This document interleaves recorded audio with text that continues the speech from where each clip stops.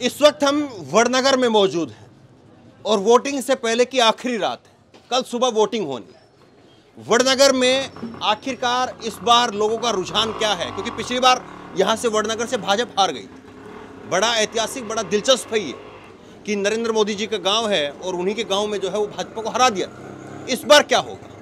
यही जानने के लिए, टटोलने के लिए थोड़ा हम इधर आए हैं और यहाँ पर कुछ लोग भी हैं। इस गाँव के बारे में भी बात करेंगे चुनाव के बारे में भी बात करेंगे। लोगों को क्या सहूलियतें यहाँ पर मिलती है? क्या फ़ायदा है? क्या मुनाफा है? लोगों को यहाँ पर क्या अच्छा दिखता है क्या बुरा दिखता है? उन सारी सारी चीज़ों को टटोलने का काम करें। क्या नाम है आपका? मोहम्मद हनीफ। तो क्या देख रहे हैं इधर इस बार गाँव में क्या है? सुबह वोटिंग तो जाना है आपको हाँ। क्या लग रहा है इधर? सब अच्छा है वोटिंग तो होगा। तो किसका ज़ोर लग रहा है? भाजपा का भी ज़ोर लग रहा है। भाजपा का ज़ोर हाँ। भाजपा का ज़ोर लग रहा है। लेकिन अभी जब हम कैमरा ऑन नहीं किया था तो आप बोल रहे थे कि कुछ भी हो सकता है। कांग्रेस भाजपा ही आएगी। अच्छा। भाजपा की सरकार बनेगी। नहीं अभी तो कैमरा ऑन नहीं किया था। हाँ, नहीं किया था पर मैं ऐसा बोल रहा हूँ कि तीनों तीनों उम्मीदवार है। हाँ। और किरीट पटेल है हाँ। वो भाजपा के हैं। हाँ। वो अच्छे उम्मीदवार है। तो ऐसा तो नहीं है कि कैमरा ऑन होने से पहले आप ठीक बता रहे थे अभी कैमरा ऑन के टाइम पे आप कोई आप भी का ये बोलेगा। हाँ। कोई कांग्रेस का भी बोलेगा। हाँ। हमको तो भाजपा का लगता है कि भाजपा ही आएगी। ठीक है। तो देखिए अभी एक भैया और थे कहाँ गए वो? अभी वो निकल गए। अभी जब हम बात कर रहे थे कैमरा ऑन नहीं किया था थोड़ा ऐसे ही जो है वो बातचीत कर रहे थे तो वो कह रहे थे कि कुछ भी हो सकता है और सात बार ये गाँव जो है वो गिर गया है। ये भी एक बड़ी जो है गिरा क्यों? ऐतिहासिक नगरी है। हाँ। ऐतिहासिक नगरी है वो। कैसे गिरा सात बार ये गाँव? क्या बताओ तो गैरों को खबर। नहीं आपने ही बताया ना मेरे को हाँ, अभी। बताया। हाँ। वो हमारे कैसे गिरा है उनको बोला उनको पूछो आपको किसको मालूम है? सात मरतबा घिरा हुआ गाँव है। सात मरतबा हाँ, गिरा हुआ गाँव हाँ। और मोदी जी का घर भी इधर पीछे ही है। हाँ पीछे ये वो भी गिर गया था? नहीं वो नहीं गिरा था। नहीं वो आपके भैया बैठे थे वो सात बार अभी बता रहे थे कि वो गिरा तो आगे तो क्या हुआ तो क्या पता है अभी तो उनका घर सही सलामत है। ये गुजरात में जो है मैं एक अलग चीज़ देख रहा हूँ। कैमरा ऑन करने से पहले लोग कुछ और बोलते हैं। कैमरा ऑफ़ करते हैं या कैमरे पहले जो कुछ बात होती है तो कुछ बात और होती है। खैर हाँ। आप क्या देख रहे हैं? चुनाव में सुबह वोटिंग के लिए जाएँगे? हाँ। हैं? क्या देख रहे हैं? चुनाव बराबर है एक तरफा अच्छा एक तरफा है कि कुछ वन वे आएगा बीजेपी आएगी। ये हरा क्यों दिया था पिछली बार इधर से?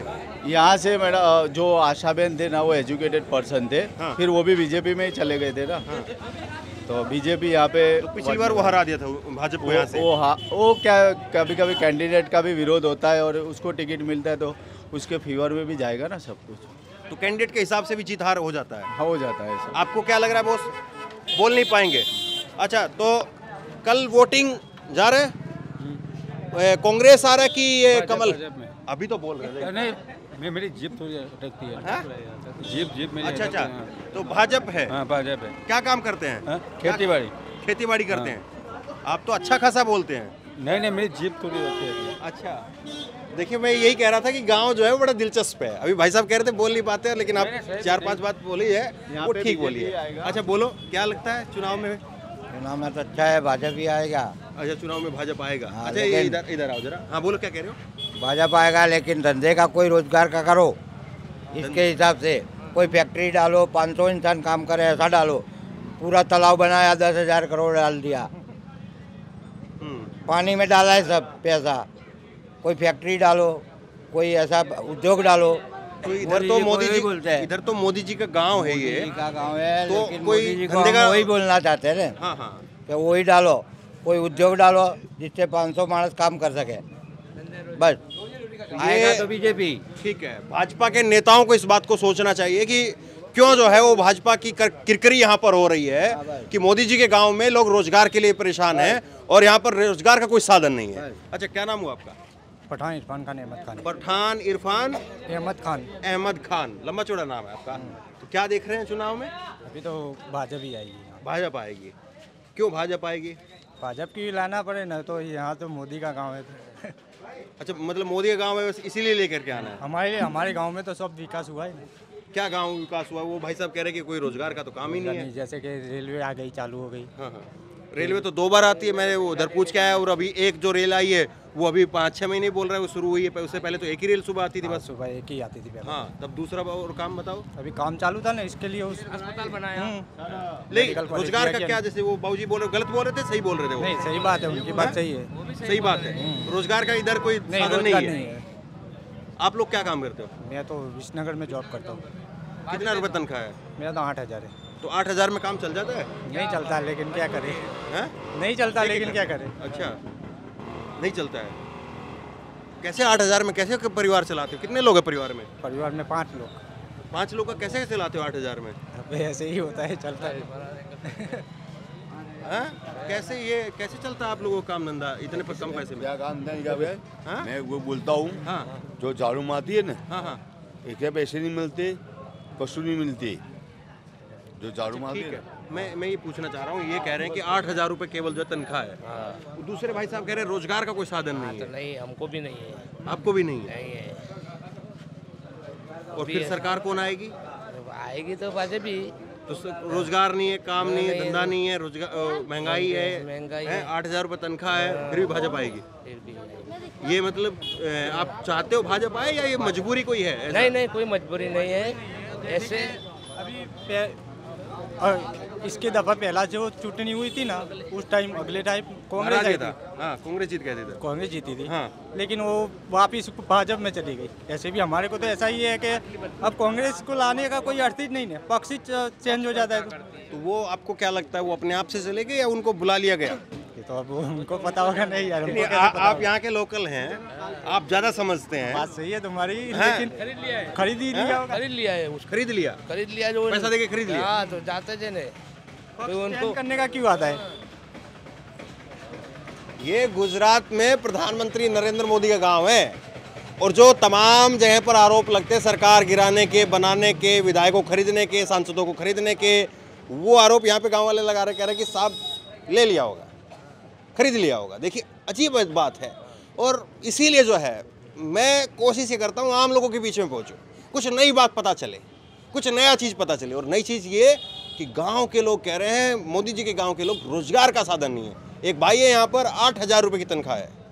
कैसे काम चलेगा? आठ हज़ार रुपये में मोदी जी ने तो चाय बेची। सही बात है। अब चाय बेची बेची चाय। हमने तो नहीं देखा नहीं हो तो पता हमको कैसे पता होगी? हाँ? हमको पता नहीं है। अच्छा ये हाँ?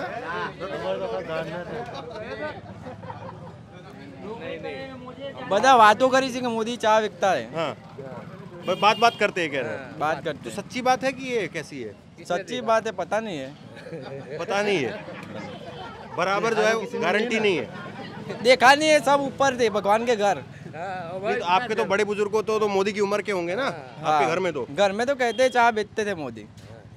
अच्छा बड़े वाले बोल बोलते हैं आपके? हाँ बड़े वाले तो बोलते हैं। कोई कर यार तमो और कर। पर वडनगर में कुछ काम धंधा नहीं है। असल बात ये है। हाँ कुछ चाय नहीं बेची है। नहीं बेची हाँ, छोड़ो उसको। चाय तो साइड में रही। हाँ साइड में करो उसको। पर छः हज़ार में मजदूरी करते हैं हम। छह हज़ार रुपए में? छः हज़ार रुपये में। क्या करने का?